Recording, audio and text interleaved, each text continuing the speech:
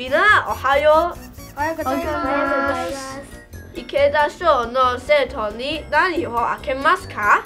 僕は本をあげます。僕はキーチェーンを開けます。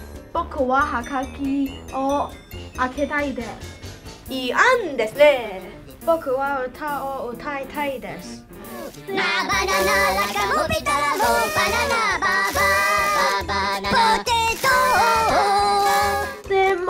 あなたの歌は良くないです。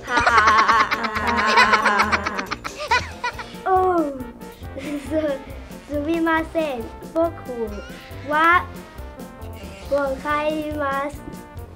さよならさよなら。